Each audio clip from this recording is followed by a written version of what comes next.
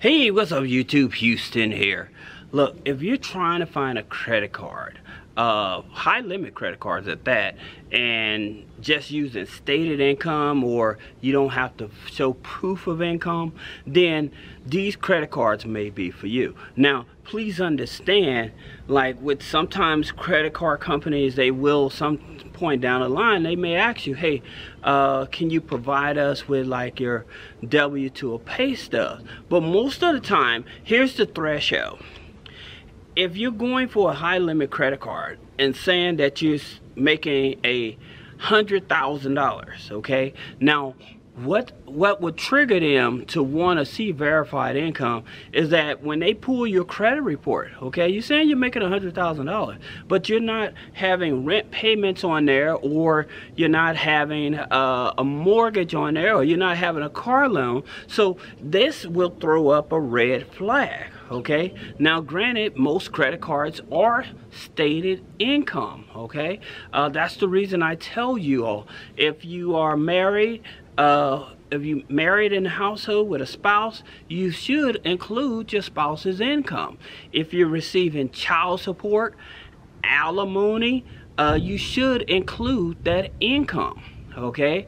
Uh, if you're disabled but you're renting out a room then yes that's income that you should include. If you're retirement but you're receiving a pension and 401k yes you should include that income okay? And that's very important because that's the reason a lot of people end up with those low limit credit cards because of that. That's not the only reason. Another reason that people end up with low limit credit cards is because of their DTI their debt to income ratio. Now when you're applying for credit cards I would tell you here's the biggest thing that most people uh, do. They end up applying for a credit card hoping for a higher limit but what happens is they have too many open open revolving accounts okay so if you have uh, multiple open revolving credit cards and stuff then I would tell you to pay it down to 10% or zero the reason is especially if you're trying to go for a higher limit credit card you should should have a, a smaller amount of open revolving account. The reason is is because it shows them that you can actually manage credit. All right. Now, it, what happens if you uh, don't get approved for a credit card? One of the things you can do, you can call the reconsideration line and you can be like, look, um, I really like your product. Um, I want to use your card and stuff like that. What it is that I can do to actually uh, get in your good graces to get this here card or whatever. And most of the time, they would take that into consideration. Let them know uh, what you're going to be using the credit card for. You know, especially like if they're travel credit cards or something like that that give rewards points. You can let them know, hey, I'm about to go on a big trip and stuff like that. And I know I'm going to be using my credit card a lot, you know, and I wanted to get the uh, rewards points and stuff like that and I know that you have a good a good rewards uh, program okay? So that's how you talk to the reconsideration line if you get denied uh, credit cards and stuff like that. But one of the bigger things like I said is income. Debt to income ratio. Those are going to be your biggest hurdles in terms of helping you get higher limit credit cards.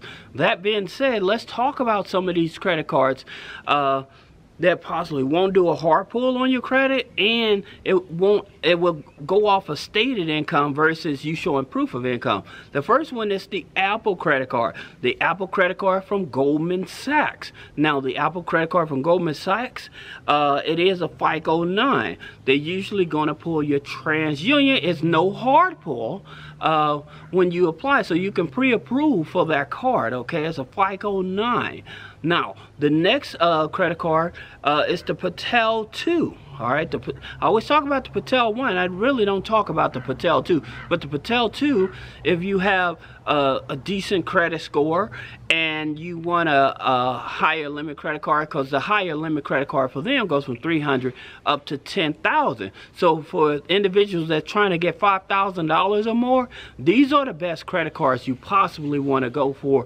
There's going to be a soft pull on the credit, uh, no stated income okay only state excuse me only stated income versus showing proof of income okay so the petal 2 FICO 9, uh, TransUnion. Then you have the Tomo credit card, okay? You can also get this here card as well as the Petal 2, even if you don't have a credit score, all right? This credit card goes up to 10,000 as well. Now, what they want to do, they want to see how many how much is your transactions in your bank account? So if you have active bank account with transactions and stuff hold on that's a jet. Sorry about that guys.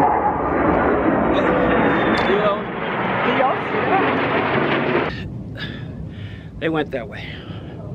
What I was saying about the Tomo card wow that's exciting. Um, anyway back to the Tomo card. Uh, $10,000 um, they don't ask for proof of income, but they do want to look at your uh, bank account information, all right?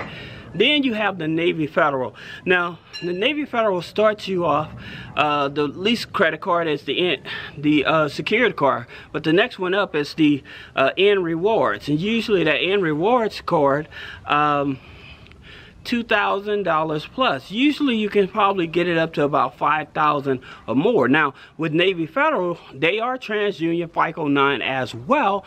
The reason I like them is because you don't have to have perfect credit. And I'll tell you one other thing about Navy Federal. A lot of people want to get that uh, flagship card because it goes up to 80,000.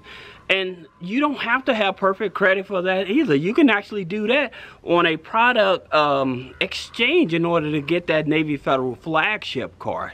Okay, so you don't have to have perfect credit for that. Now, the next card is a uh, Wells Fargo. Wells Fargo Active Cash Experian FICO 9. Okay. Now I know you're probably wondering like what's up with all this FICO 9 stuff. The reason is is because with your FICO 9 credit score, it's much easier to get higher limit credit cards. Okay.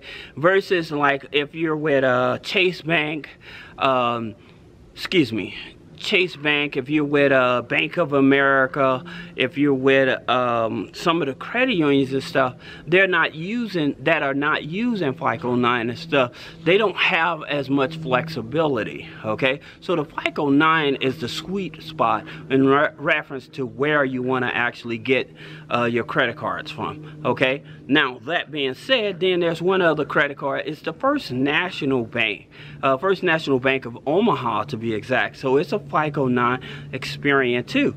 And you can even garden in yourself and what that means is basically you open up a personal checking account a savings account you know and then apply for a credit card. But they are FICO 9 uh, bank as well all right? And they do give pretty good high limits all right? So that's the reason like I said and in terms of like verifying income again if you're not doing the shady stuff then they won't verify income, especially like with credit cards and stuff like that, okay? They won't do that. But um, just so that you use precaution when applying for these credit cards and stuff like that, make sure that all of the income is counted in the household all right so if you have any other questions about business credit funding personal credit funding click the link in the description and schedule a one-on-one -on -one consultation thank you